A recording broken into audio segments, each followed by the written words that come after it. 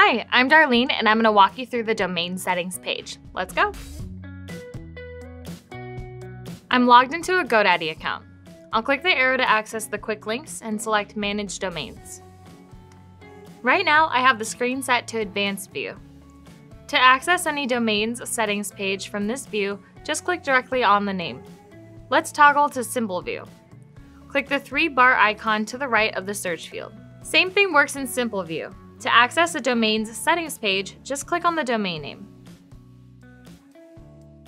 We're looking at a domain that's currently being used for a website.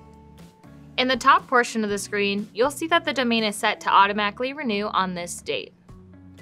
When a domain is being used, you'll see two options. One for managing the product or functionality for which you're currently using it, and a second option to add any other products for which you might also like to use it. This portion of the screen looks different when your domain is not being used. Let me show you the difference.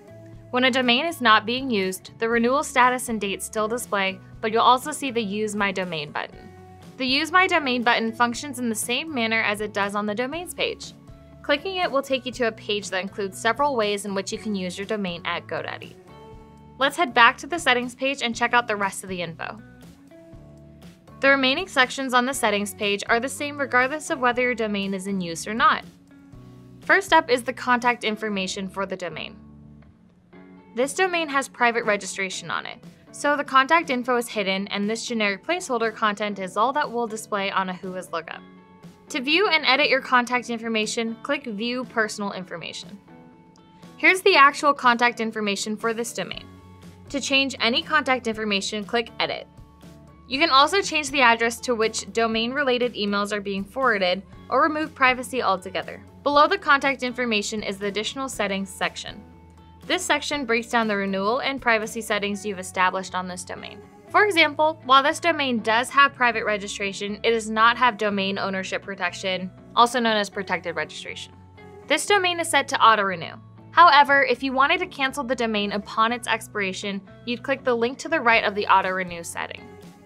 In addition, this domain is locked to prevent unauthorized changes. To unlock the domain, click Edit. When you choose to unlock a domain, some settings may not be available while we process your update. You'll also want to check your inbox if you turn off this setting. You might also receive a confirmation email you need to respond to. Finally, at the bottom of the settings page, you'll find the links to several domain management tasks. That's it for the domain settings page. I'm Darlene, thanks for hanging out.